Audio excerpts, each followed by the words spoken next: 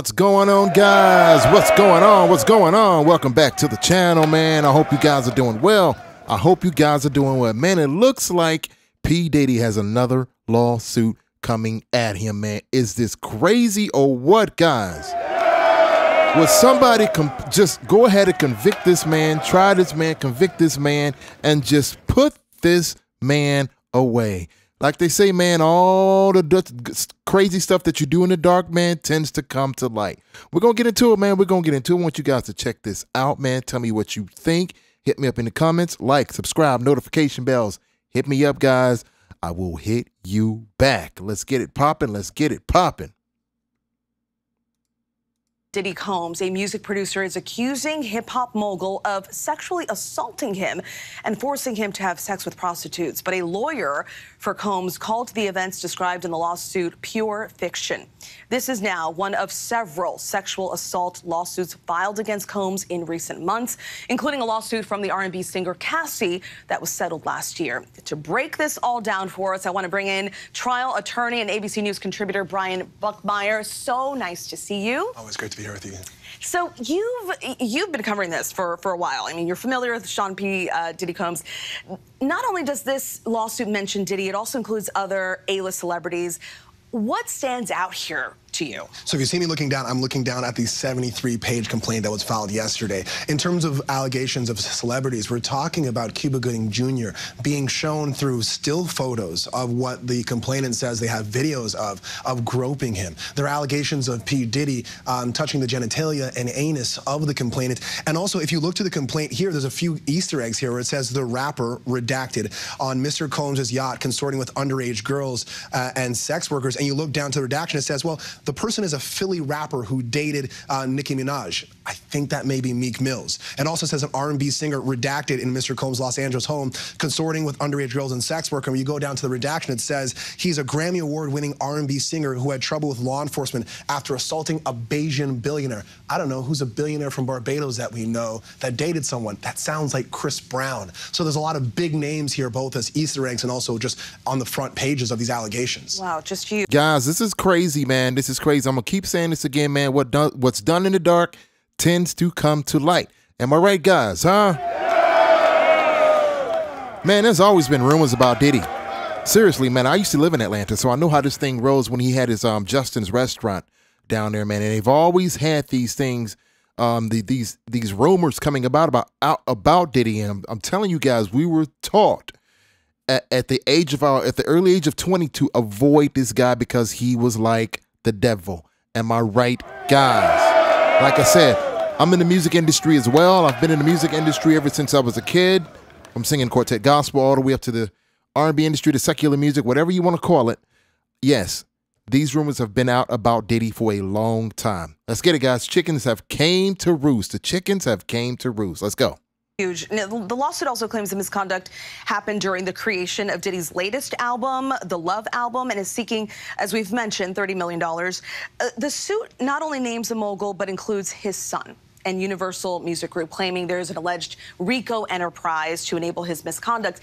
Explain why the lawsuit goes beyond Diddy and what's kind of at stake here. This, along with Cassie's uh, lawsuit that you talked about earlier that was settled, reads a lot like what we saw in the R. Kelly case in the EDNY, where they're talking about this being a criminal enterprise that's all feeding towards this one individual's uh, depravity of wanting drugs and sex and rock and roll, roll and everything in between, that everyone seemed to know and go out and facilitate what Sean Diddy Combs wanted. Even in part of these allegations or these complaints, they call his chief of staff the Ghislaine Maxwell to P. Diddy's uh, Jeffrey Epstein, saying that this was a total sexual enterprise to feed into uh, his desires. And we want to note that Diddy has denied all claims against him, but this can't possibly help his brand. Like, how do, where do you see this going, and, and, and where do you see this lawsuit going?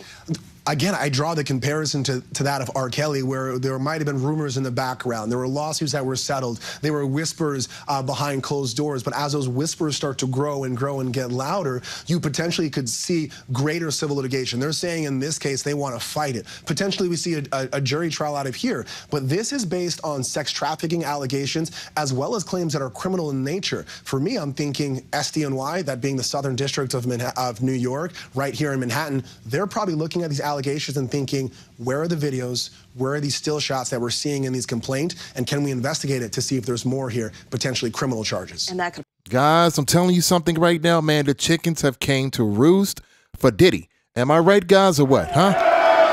Yes, sir. The chickens have came to roost for Diddy.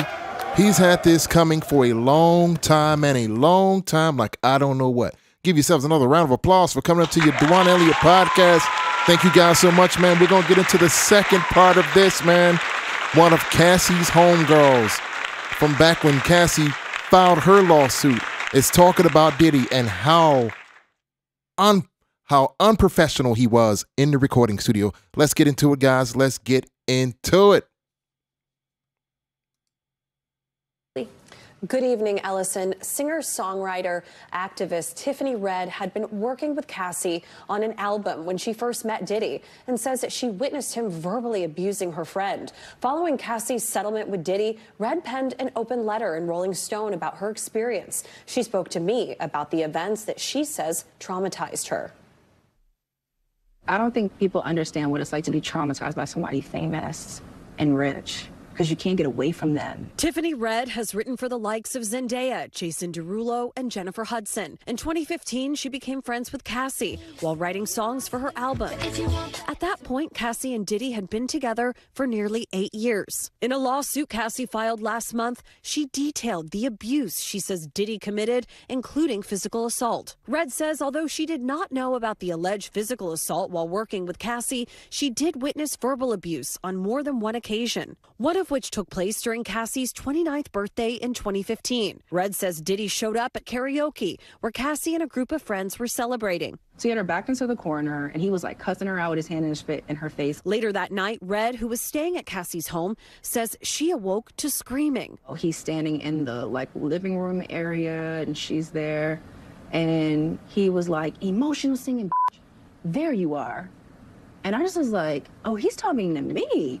And I remember, like, I don't know if you know his what his voice sounds like, but like, I felt like I was in the presence of his monster inside. And I remember like looking in his eyes, and I said to him, "What did y'all do?" Because I could see that she was like really sedated. That was the first time I ever seen her like high before. And then he says, "Tell your girl she wants some birthday." Let me tell you guys something, man.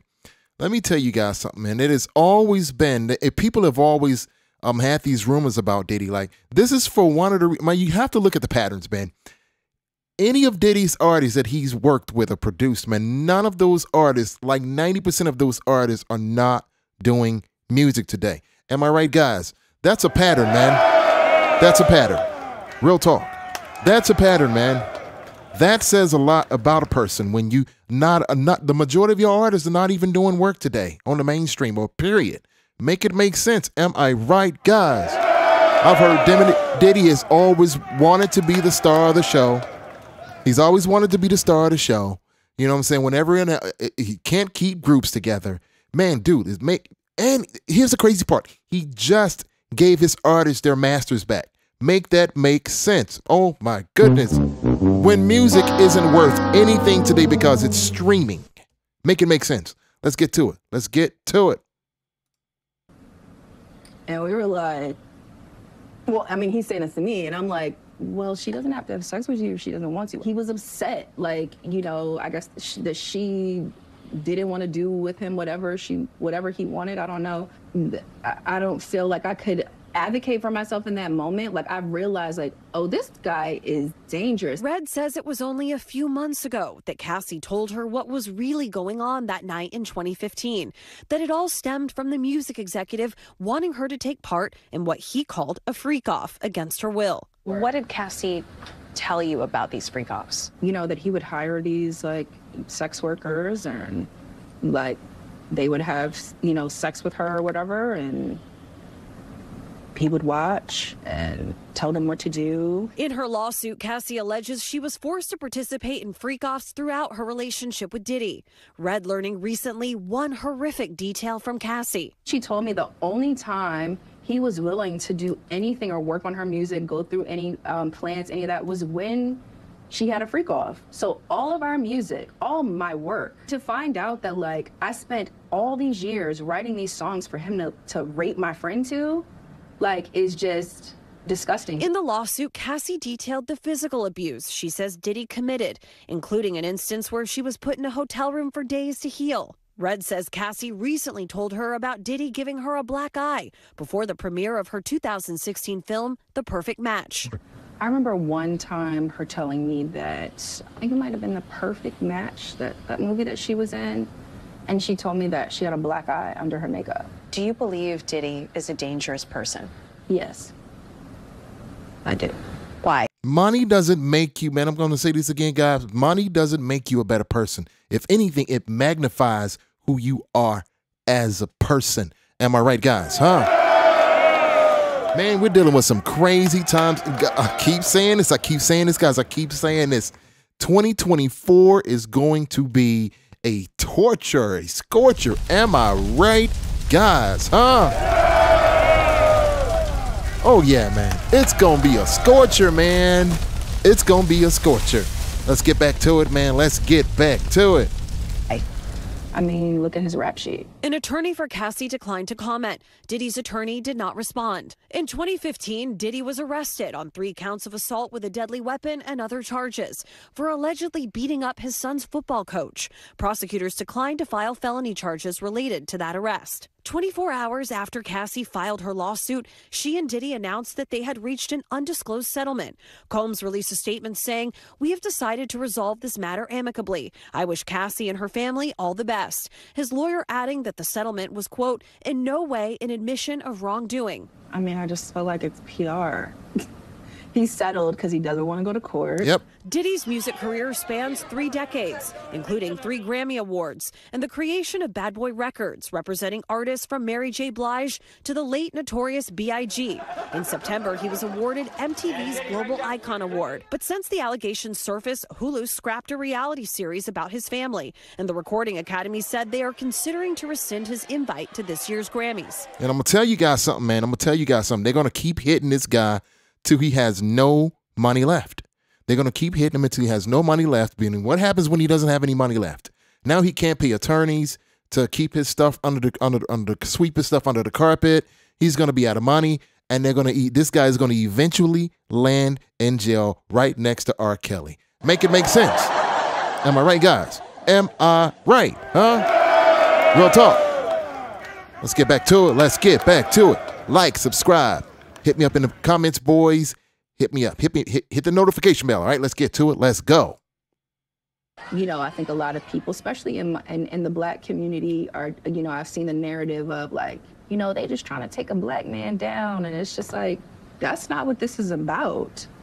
That's not what this is about. This is about accountability and and um, a reckoning. Like that's just the bottom line. As for what justice looks like, I think justice looks like Diddy being behind bars, and I also think that justice looks like everybody getting retribution for all of the things the amount of therapy. Like i just said all of my all of the moments the time like these are our careers And Chloe is back with us now. You hear her saying justice looks like Diddy behind bars. Is there a possibility that could still happen? Where does the criminal case stand? So Cassie filed her federal civil suit here in New York, and the NYPD has come out and said that there is no investigation into Diddy right now. Now that doesn't mean that the district attorney of Manhattan isn't looking into something or perhaps investigations going on behind the scenes, but publicly on the record, no such investigation has been confirmed. And also, there have been other lawsuits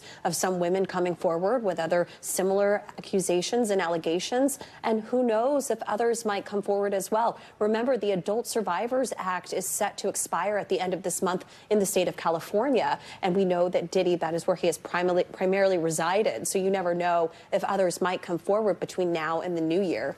And you spent so much time talking with Tiffany, and you can tell, even watching that back, not being in the room with her, that she has been so deeply impacted by what she says she witnessed. She has been able to sort of take this and turn it in a way, right? Can you explain that? So she calls herself an activist, right? She's not just a singer, songwriter um, who's worked with so many stars, like I mentioned, Zendaya, Jason Derulo, Cassie.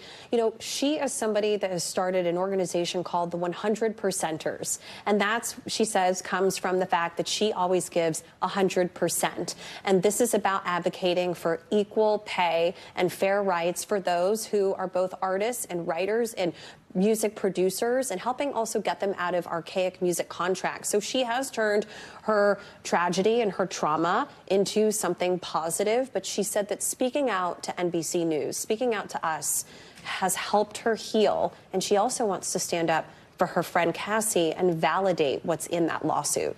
Guys, we are looking at a time of reckoning. Am I right or am I wrong, guys? We're looking at a time of reckoning, man. Diddy, you are going down, my brother. I'm just saying this to you personally, my brother. You are going down. As a matter of fact, man, we're going to end it off with Diddy's top security guard back in the day, Gene Deal. And Gene Deal has been coming for Diddy for years now, for at least a good five to 10 years, and spilling the beans on Diddy and all of his antics back in the days, back in the 90s and the early 2000s and the mid 2000s. Diddy has firsthand accounts. I'm sorry, Gene Deal has firsthand accounts of how Diddy's antics are. And we're going to get into it, guys. This is Diddy's top security guard back in the day. Let's get into it, guys. Let's get into it. Let's go. His latest lawsuit against Diddy from, you know, the producer Lil Rod. Man, you know, a, uh, Leopard don't change his spots. And Diddy been doing this for a real long time, bro. He been doing this for a long time. And now another artist, this artist didn't wait 10 years. You know what I'm saying? He didn't wait 20 years. You understand? He waited a year or two after he stopped working with him and saw he didn't get what he was supposed to get. And he said, Yo, listen here, man. I'm putting in my claims right now mm-hmm. because I'm going to show everybody what really happened, what really went down. It's, it's crazy. When I was reading it, I read the, the whole thing. Shout out um, uh, to uh, Keisha in Kansas City. She sent me the whole the whole documentation, bro, and you know the whole court thing. And when I'm reading the stuff, you know, uh, it sound from a lot of a lot of sound familiar. You understand? And what I mean sound familiar, how he would get other girls and get girls um to try to, you know, convince this guy, you know, or, or, or put him in a sexual situation with other girls so he could do whatever he wanted to do with them. And it's, it's, it's just like the situation somewhat with Sarah and uh, her girlfriend and him and Ja. You know what I'm saying? Bringing girls on to try to convince this other guy to be in a room with another naked man and all this other bullshit. Yo, it, it all sound familiar, man. I, I, Y'all, guys, Gene Deal has it in for Diddy. Am I right or what, guys? That's crazy. No, that's crazy. I'm sorry. And Gene Deal has been speaking like this, guys, for at least a few years now. Man, I'm telling you guys, what's done in the dark tends to come to light. You guys want to get out here and jump into the music game, the entertainment game, period, and deal with this. And I'm telling you guys, this is still going on now. Am I right, guys? This is still going on now. Yes, sir. Let's get into it, man. Let's get into it. Let's go. I, I, I read the whole thing, man, and it was crazy. And for the people that don't know what you're talking about, because the lawsuit is new, so you know some people still catching up with it. Lil Rod, he alleges that you know Yung Miami cousin tried to have sex with him in front of Diddy. Yeah, he went into the bathroom, and then she came into the bathroom and tried to, uh, you know, throw herself on him. He didn't want to have nothing to do with her for whatever reason. And then when he came out the bathroom, she continued to try to do that and try to have sex in uh wanted him to have sex in front of uh Diddy and the rest of the people that was in there. You know that that's that's how they do, man. They try to use a girl that you might like or you may think you might like or they think you might like her or whatever to convince you to lay down your guards with them. And he didn't. Yeah, that's crazy, man. And you're not surprised by none of this because you said that Ja Rule, they did this to him, right? No, remember, remember, and people got confused when I said that Ja and him was in the room with two girls, with, with, Sarah and Sarah girlfriend. You understand? He was trying to get Ja to go at Jay Z. So what he did was try to get another girl, you understand, to do something with Ja. I guess I don't know. They in the room together. So when they in, in, in that thing, I know what he was planning on doing because I heard the conversation. I knew what was going on. He was trying to get at Ja. So if he got Ja in any kind of uncompromising position, he could force Ja to go at Jay Z. So that's just a a a a a a, a, a thing that they use.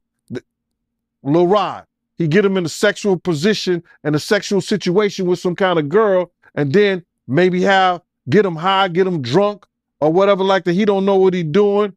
One of the guys step in, and now he doing Lil Rod. Now Lil Rod all messed up in the mind because he started off with a girl, but now he end up with a guy. He trying to put him in some kind of situation like that. Guys, this screams insecurity to me, man. Insecurity to me. Am I right or am I right, guys? Huh? I've been around some big wigs, man. Some big, some big named cats, man. And I've seen this pattern, man, just in their personalities. And guys, you have to really think about it, man. Listen, just look at the patterns, man. Look at these patterns. None of these people know each other personally. And they're all coming out with these lawsuits now. Make it make sense. Make it make sense. This is going to be crazy, man. 2024 is the reckoning. 2024 is the reckoning. Mark my words. Am I right, guys? Let's get to it. Let's get to it. Let's go. They do that all the time in the industry. I want to get into this real quick, man, before we really even get started into this. And it's because something I seen today. This girl, Tiffany Red, she said that she was filing a claim against Diddy, but it, my man, it touched me crazy, man, because the hurt that I seen in her voice, in her her she crying, man, and she worrying about what this dude could do to her and what he has done to her. Man, listen here. I want to let this young lady know, and I know this is not the place for it, brother, but please allow me to say this to her, man. You know what I'm saying? I started this battle long time ago. Mm. And the situation is, is that, bruh, we already won. This was some spiritual shit that Mm-hmm. Pop, the spirit of Pop, the spirit of Big, the spirit of Miss Jones, the spirit of Wolf, all the people that he has done wrong, you know, so black, all the people that he has done wrong, bruh, Mhm. is coming to light. We Mhm. already won this shit spiritual. What we going through right now with these trials and everybody, you know, with this financial situation and everything like that, all that is superficial. That's that, that's the that's the physical part of it. The spiritual part of it was won because Big, Pac, Wolf, Wolf Mother, all the people that he did wrong, bruh. You understand? They already won the battle where we were supposed to win it at.